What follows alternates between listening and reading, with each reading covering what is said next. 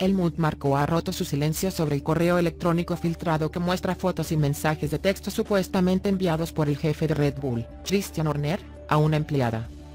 Marco ha admitido que quedó asombrado después de que el explosivo correo electrónico que contenía 79 documentos, incluidos cientos de mensajes, fuera enviado al presidente de la FIA, Mohamed Ben Sulayem, y al director ejecutivo de la F1, Stefano Domenicali, entre otros. El documento fue enviado de forma anónima después de que Horner fuera absuelto de comportamiento coercitivo tras una investigación interna realizada el jueves por la organización matriz de su equipo, Red Bull GmbH. Marco, que figura como director de Red Bull Racing, ahora ha hablado sobre los intercambios filtrados que han sumido el futuro de Horner en el caos. Estoy estupefacto y sorprendido de que se hayan filtrado los documentos. Yo nunca los he visto, dijo Marco Bild a través de Motorsport Total.